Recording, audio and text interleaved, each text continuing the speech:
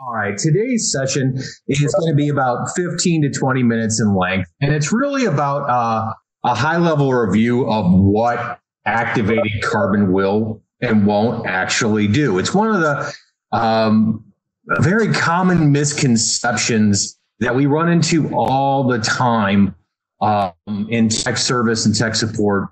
The lack of understanding about what activated carbon is really there to perform to do. We get a lot of um, customers that will say, we'll have a TDS meter before and after a carbon filter, and the reading won't change. And they'll say, well, my filter isn't working. And that just represents a, a fundamental misunderstanding of what activated carbon actually does. So we're going to take a look at activated carbon this morning. So activated carbon comes from natural sources, basically um, anything with a, a, a, strong cellulose fiber uh, in its structure, and that's typically organic. Coconut carbon um, is a source of one of the purest grades of activated carbon out there. And the reason for this is this husk. When we look at um, activated carbon, where that source material comes from impacts its pore structure, its functionality when it comes to removal, and also the amount of potential uh, contamination within it because all living plants draw draw mineral content and water from the soil they're grown in.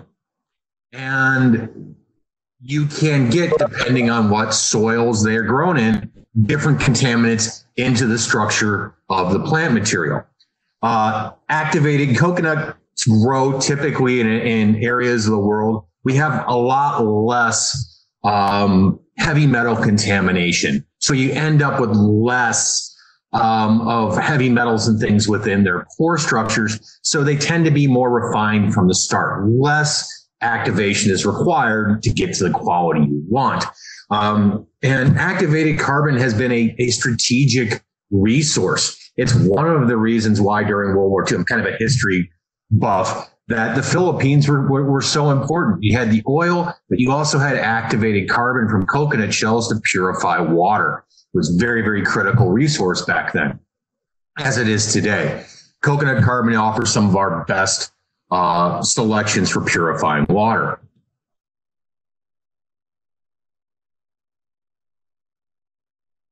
Now, we also will get activated carbon from coal. Um, the majority of it's going to come from bituminous coal. Uh, there are some lignite uh, activated charcoal products, but most of it comes from bituminous coal.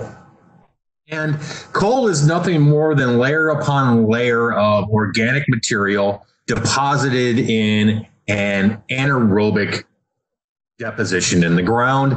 And this is all plant fibers that have been compressed and, and, broken down over time by pressure into cellulose fiber. But that contact with water and earth strata and, and other rocks, coal tends to have more impurities in it because of the way it was formed than does wood or coconut carbon. So understanding the source will also let us understand why we may have issues with that product.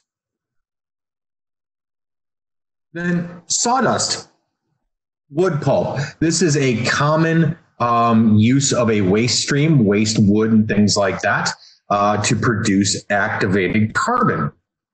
It's kind of a balance between uh, coconut carbon and coal carbon, somewhere in between, because we're dealing with the, the trunk of the tree. That's where you're going to see more of those contaminants reside is in those fibers rather than in the seed product as in a coconut. So activated carbon. This is a product and a technology that uh, is one of the most versatile technologies that man uses for water purification. We take it for granted. This stuff is just amazing. It's almost as amazing as the water we use to treat. It is used in so many products from air filters, water filters, in every manufacturing industry, chemical industry, food process industry to purify products throughout all of human society. This product is layered in and we take it for granted. So understanding that it's just about everywhere. So how do we make this product? So there are some factors that impact the activation product process. The type of raw material that's selected will determine the activated carbon's properties. The raw material will be impacted by its pore structure, the purity of that end product, and whether or not it's going to be a good candidate for chemical activation for selective removal. There are lots of things that carbon manufacturers will do to activated carbon um, to put different chemical functional groups on it to give it more of a focus removal characteristic. So, and those are rather tightly held trade secrets. So I'm not going to go into those specifics today. And then there's steam activation. And steam activation is something that um, for all water purification is what's typically done with activated carbon. So the better starting material yields a better final product. Um, that's really the issue here. Just like every toolbox, you want to select the right tool for the job. So how is activated carbon made? Well, you take that raw charcoal. Well, that charcoal is made by um, basically burning wood material or coal in a low oxygen environment, breaking that into chunks. Then it's put into a high temperature furnace with no oxygen. And that's critical because we don't want combustion. We want thermal degradation, which is completely different. That's done at 850 C. That, if you had oxygen present, would combust the charcoal into nothing but ash, which is not what we want. We want activated carbon. No oxygen is used. Then once it comes out of that process, it is crushed and sieved to the size they want. At this point in time, it can be used as granulated activated carbon, the BAU type. This is real crude version of this. This is for large scale industrial processes where they're, this is like stage one in treatment. Now, when it comes to products that we use, you may get the BAU type of activated carbon milled, and that goes into products. But for water treatment, typically uh, for, for drinking water or processed water in a manufacturing facility, you're going to go through a couple more steps.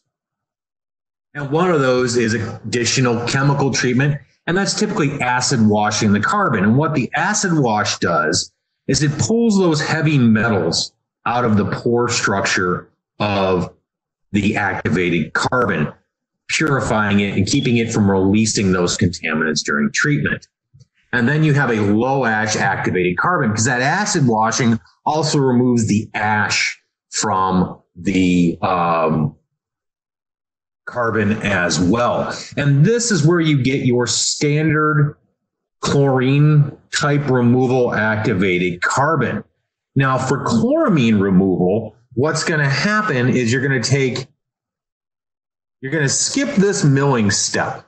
Okay. You're going to go to this acid wash chemical treatment, and you're going to take this carbon, remill it, and then reactivate it. This will happen four to seven times more um, for to produce chloramine carbon. What this does is it produces exponentially larger numbers of activated sites on the carbon. Carbon has two abilities that it really does well from a chemical process standpoint.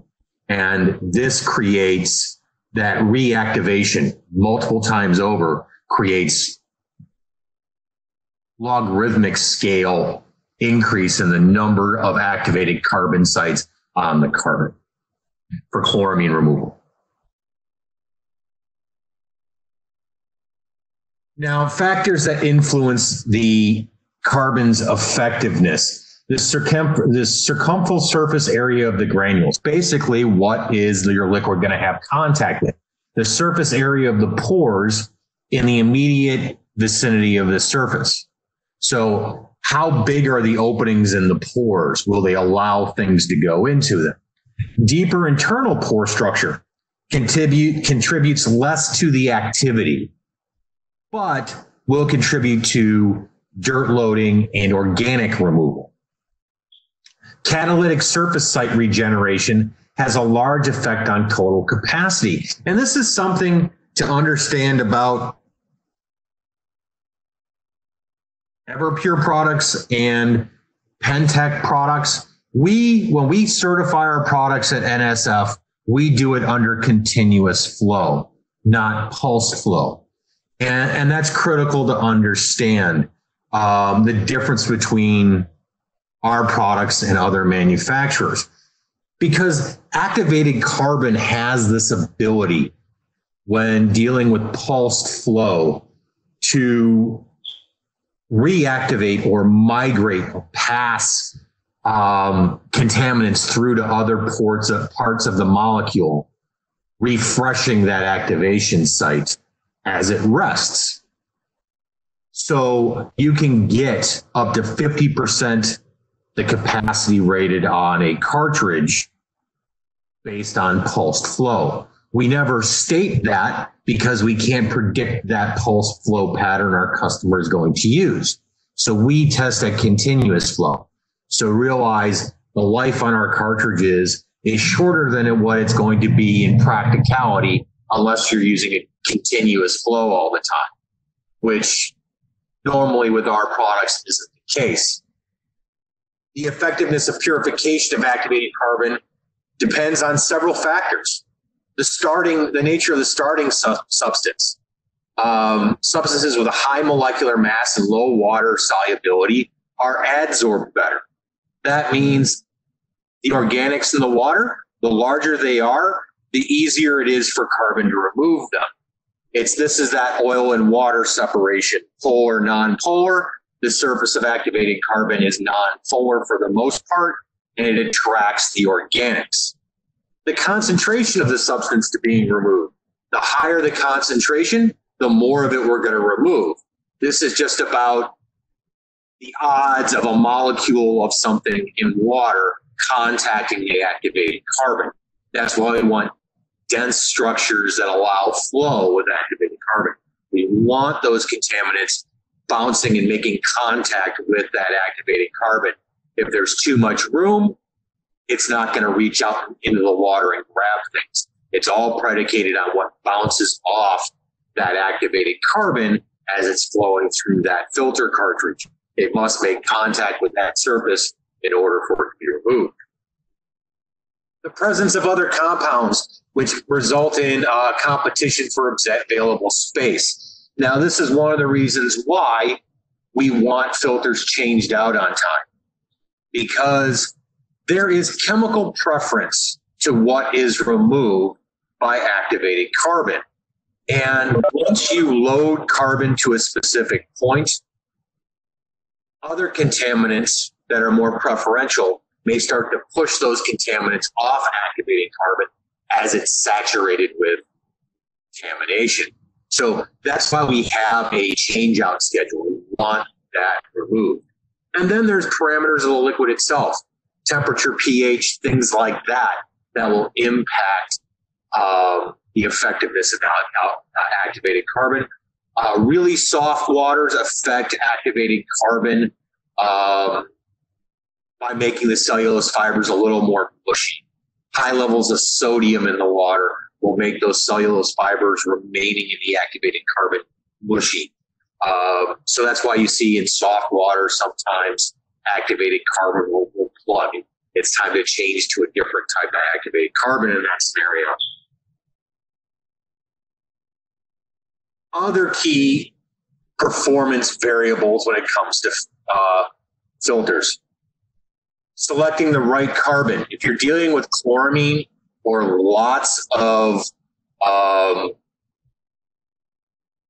like pharmaceutical contaminants, chloramine carbon's a better choice because of the activation sites. Uh, it's based on the type of the source carbon as well. You want a better purification job, migrate towards wood and then coconut carbon as your best product. Grain size, the physical size of the grain matters. Um, the larger the grain is going to allow higher flow rates around it. The smaller the grains, you are going to um, get better removal, but you're going to get an increased pressure drop. So there's always a balance in filtration between removal and pressure drop. Fluid flow pattern of the filter matters. The geometry of the cartridge, radial flow versus axial flow. Why? Because radial flow is from the outside of the filter in, and the bed of carbon is literally the diameter of the filter, less the core. Or you can have axial flow, which is going to go down the length of the cartridge. Most of our cartridges are radial flow. Our inline cartridges or GAC filters tend to be axial flow. And you'll experience, tend to experience more pressure drop with axial flow cartridges than radial flow. So the physics of how we're applying this product matter as well. So how does activated carbon work? Here's a, a schematic of a granule of activated carbon. And that activated carbon process creates this pore structure. And the size of this pore structure determines what it's going to be really good at removing. I'm not going to go into iodine number and molasses number and things like that. You want to go into that sort of uh, deep discussion. Uh, we can at some point in time, uh, but we're going to keep it high level. But basically, with the increase in surface area from activation, we're able to coat all of that surface area with organics. The smaller stuff is going to migrate in deeper into the pore structure, and the larger stuff is going to stick to the surface or clog those pores.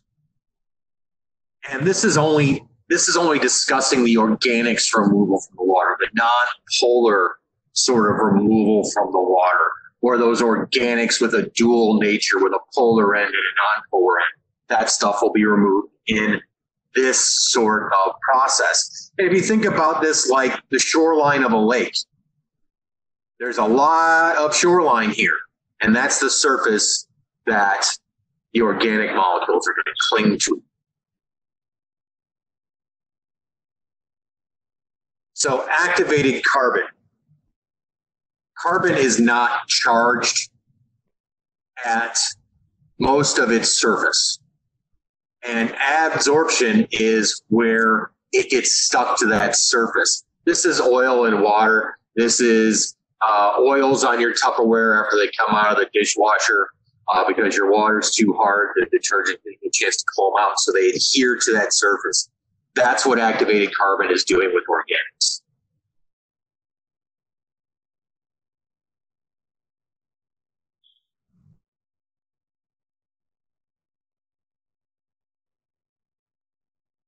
So as a carbon block, this is the surface that your organics are going to stick to and as it weeds its ways through. This technology has been used for thousands of years, going back to the ancient Egyptians and Persians who have used this technology for thousands of years. This is a one of the oldest technologies man has for purifying water. So those contaminants stick to the surface, and this will act as a dirt filter. Okay. There is a very different dynamic between dirt loading and chemical extraction with activated carbon. And that's critical to understand. We'd rather use a pre-filter to manage our dirt load than waste our activated carbon filters managing dirt. Now, how chlorine is removed by activated carbon. Um, well, chlorine generically is hypochlorous acid. as a chemical in the water. This is a strong oxidizer.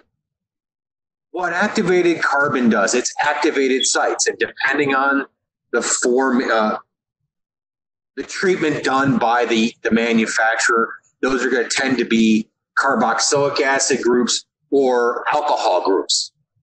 Getting a little deep in the weeds here on chemistry. But what really is happening here is the activated site, depending on what it is, will be oxidized by the hypochlorous acid. The oxygen will remain behind, and you will generate chloride and acid. This is why you see a slight pH drop after a brand new activated carbon filter. Then it balances out. So we're converting hypochlorous acid into chloride and H plus. Since chlorine only exists hypochlorous acid in water supplies between two and four parts per million, this isn't a significant addition. It shouldn't affect water chemistry significantly unless you're dealing with large scale plant operation and then some flushing is required. There. So you get basically this um, oxidation of this site on the carbon. This actually indicates a conversion of an alcohol group to a carboxylic acid group in the water. If you want to understand a little bit more of the chemistry here. But carbon manufacturers will change what this little asterisk is, that functional group on the carbon, to do different things. And believe me, they're kind of reluctant to share that. So, what was that again? This is a, a, a little bit better view of what a granular of activated carbon, granule of activated carbon looks like. You get these activated sites, okay, on the surface, but this entire other surface area is what's going to be removing the organics. And these sites are what's doing the chloride reduction of hypochlorous acid. So, and then on regeneration, you're going to get migration of this oxygen passed in between this pore structure. So one of the fun things about organic chemistry is you get resonant forms in carbon like this. So they change as they sit and they'll pass that oxygen around that they pull apart and reorganize things, allowing for more hypochlorous acid to be broken down. I didn't go into the chlor- uh, chloramine removal mechanism in this presentation because it's a lot more complicated than that. I didn't want to scare people with that. But so now, what does carbon remove and what it doesn't? This is where um, we have to explain to our customers and end users all the time what this product is designed for. It'll remove total organic carbon or reduce it, TOC in the water. Taste and odor compounds, the tannins, um, organics, pharmaceuticals, um, activating carbon will remove lots of different compounds from the water. And there is a difference between a product being able to remove something and being rated to remove a specific amount. So understand that not all of our filters are going to be rated for specific contaminant removal unless there's a business case around that contaminant for, for around that certification. Um, I understand my GAC filter is going to be removing phar- pharmaceuticals. I don't understand how much, but I know it's going to be doing some of that. Um, having a product certified quantifies how much it will remove by weight. Um, and then there's specialized activated carbons for chlorine or chloramine removal, and choosing the right one is critical. Chlor- chloramine carbon will remove significantly more chlorine than standard activated carbon. Standard activated carbon will remove one tenth of the chloramine that a chloramine activated carbon will. So realize you will get chloramine removal with standard carbon, but you will not have the life in a chloramine sanitation system. Now, what passes through activated carbon? Total dissolved solids, mineral content, salts.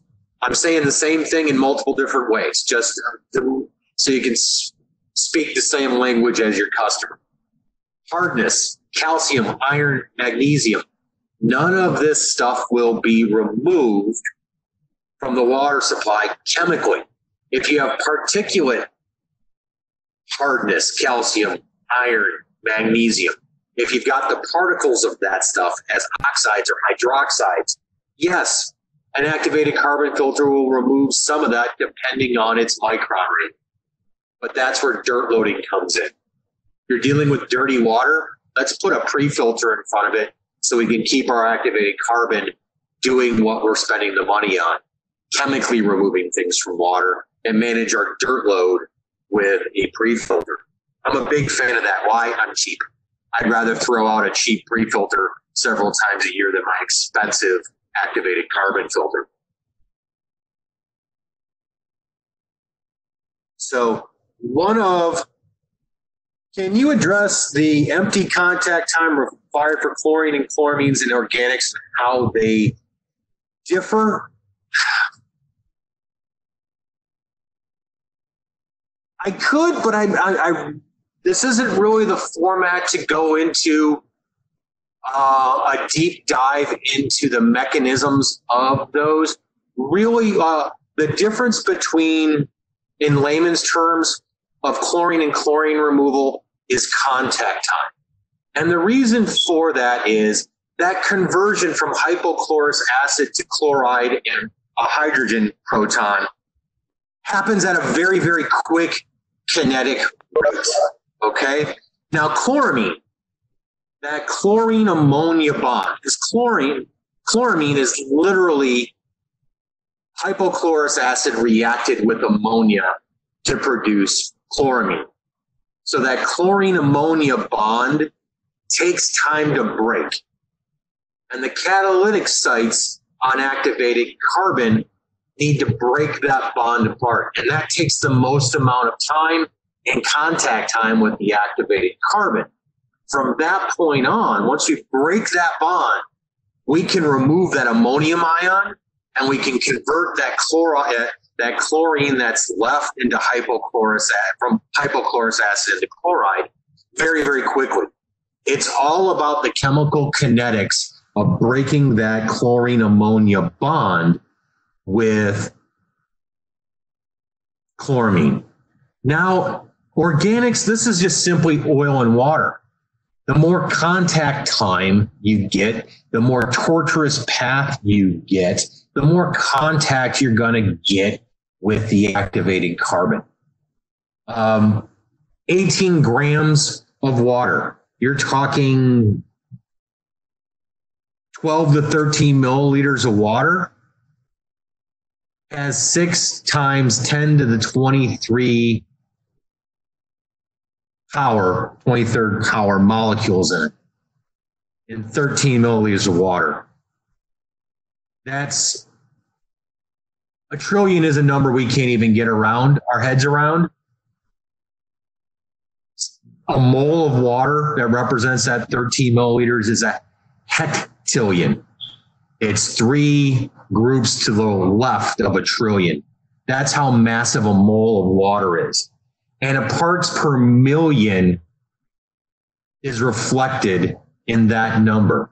So when you're talking about a glass of water and the chemistry involved, you're talking about, and even in, in hundreds of parts per million is still a relatively small amount compared to the number of water molecules in there.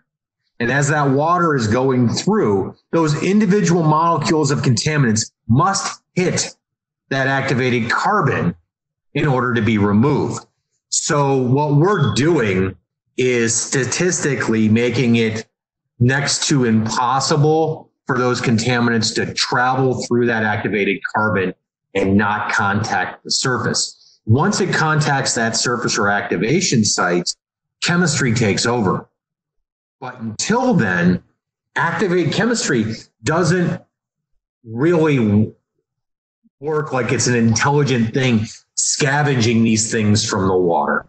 It is a statistical probability event where it's just the odds of something bouncing off that carbon gets it to react with the surface of that carbon, removing it.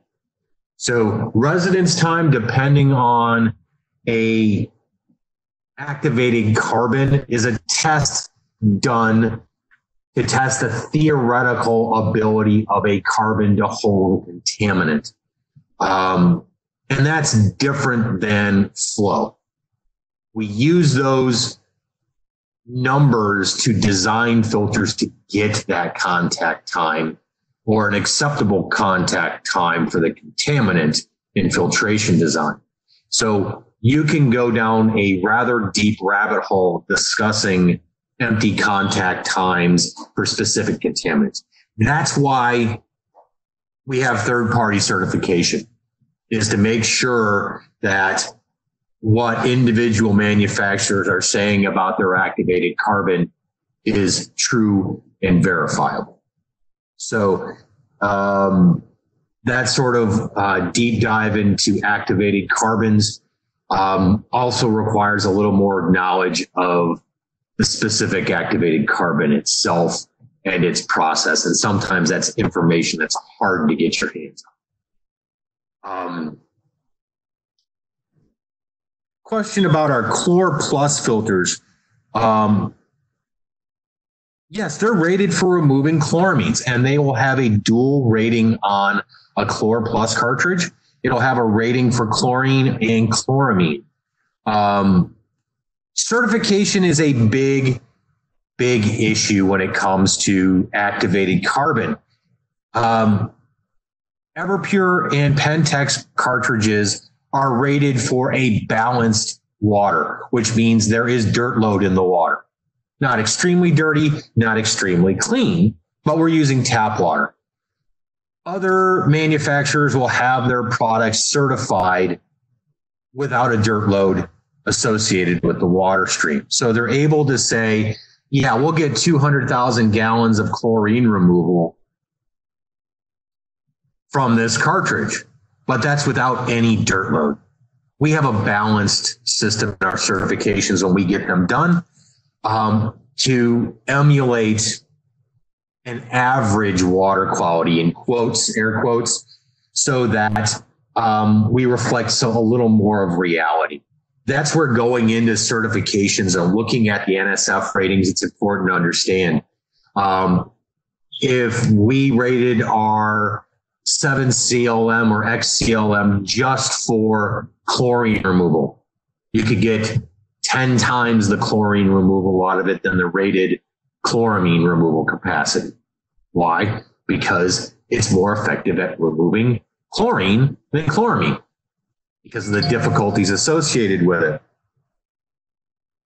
Now, when um, you look at certifications, understand that dirt load is not always factored in in everyone else's. Uh, but Chlor Plus is uh, rated for removing chloramines. You'll see dual ratings on its spec sheet, one for chlorine, one for chloramine. One of the things you'd like to announce to uh, everyone this year is the creation of the training dot request at pentair.com email address. This is available on uh, the Components Group Partner Center. And we're, when we're allowed to travel again, uh, we'll be able to uh, address requests for in-person product training, in-person troubleshooting training, water quality, basics of water treatment, opportunity training, uh, valves, controls, uh, filter cartridges, reverse osmosis systems, all product centric training. Uh, if you just want to sit around and talk shop, bounce jobs or ideas off of us, um, we're happy to do that, or just feedback sessions about the product so we can understand uh, issues you may be having, uh, and hopefully we can put that in the right ear. Um, you know, the great thing about water treatment is it's uh, um, lots of ways to skin the cat. is chlorine dioxide easy to remove uh, or like chloramine? Um, chlorine dioxide uh, is a little easier to remove than chloramine. Um, but most of our filters are not rated for it since chlorine dioxide tends to be a um, a less frequently used sanitizer and its breakdown products end up being hypochlorous acid anyways and chloride so there there's some crossover there in its extraction and removal but good question there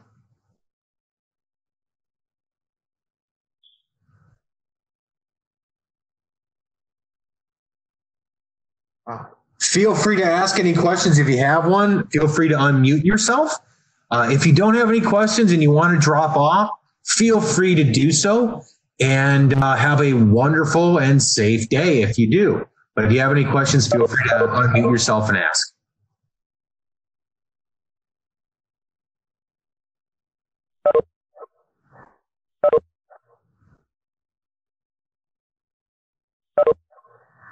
Well, if there aren't any more questions, thank you very much for attending. And if you know anyone who could use to see this, it's offered again today at 3 p.m.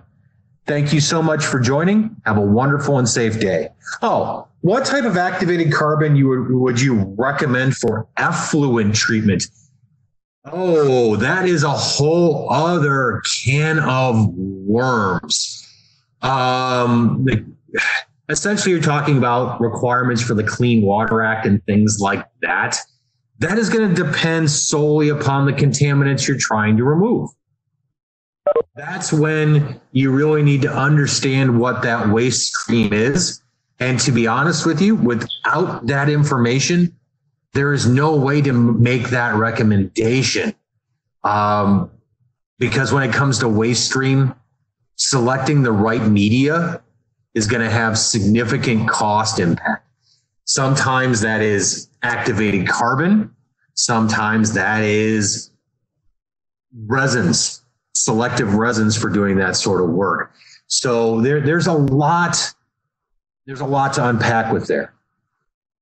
Oh, typically for sewage treatment plants. Oh, now, now that is a real can of worms sewage treatment is a profoundly dynamic environment and sewage treatment plants the contamination is a reflection of the community it's in. Um, it depends on what you're trying to remove. Um, are you treating for organics pharmaceuticals and things like that? It depends on the process how much biological, you know, in anaerobic digestion are they doing? You know, what is their overall process and what's going to be good for that process? Um, you're going to be doing, you know, fog tests, fat oils and greases and all that sort of stuff to determine load. That that's really a, a case specific sort of environment. You know that yeah that is a really, really tough question. And and to be honest with you, um, I would suggest reaching out. Uh, I'll see if I can dig out some of my contacts that do effluent treatment. I focus mainly mainly on influent treatment. So um, I don't want to steer anybody wrong on the effluent treatment because there is such significant regulatory impact to those sorts of statements, I don't want to put my foot in my mouth, to be honest. Um, so with that, uh, it's really, really going to depend on the sludge. I mean, right now, they're they're doing coronavirus testing at sewage treatment plants to determine outbreak status and untested contamination. So the amount of information and contaminants and, and, and view and perspective on sewage treatment that is a field in and of itself, unfortunately.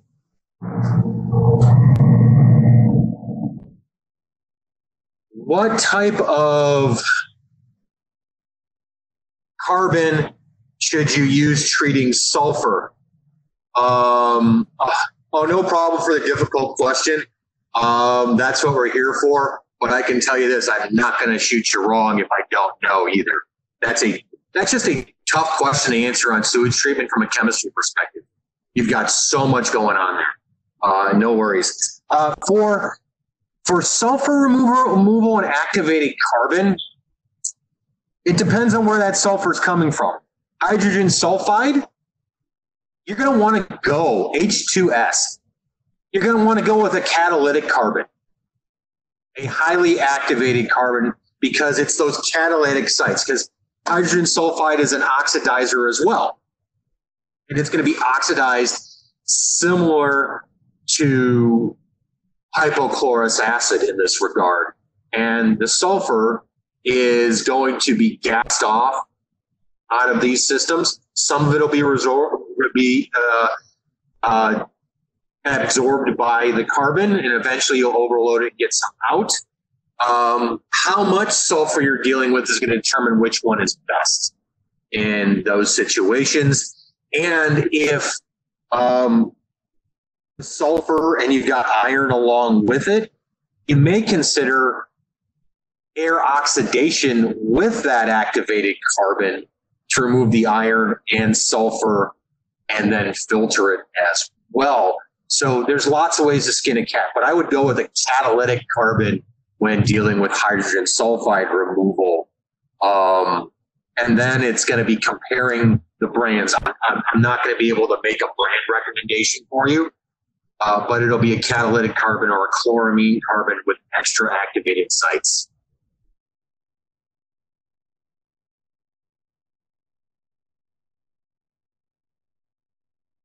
But that's a good question on hydrogen sulfide removal.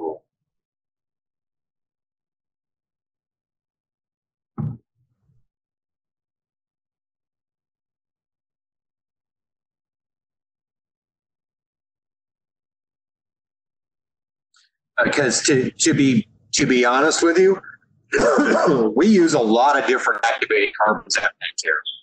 We we shop OEMs of activated carbon to build cartridges for specific purpose as well. Just like you're going to do with the components with a tank, you're going to shop activated carbon to put the right carbon in the tank.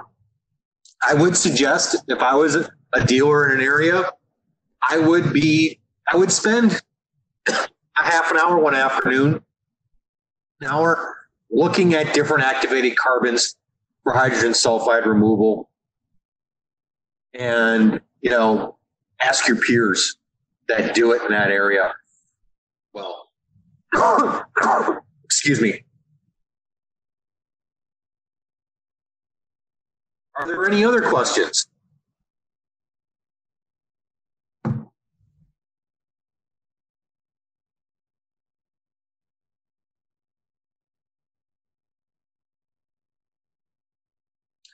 All right. Well, thank you very much for attending. I love the questions this morning. I love getting put on the spot uh, and having to dust off my brain here a bit.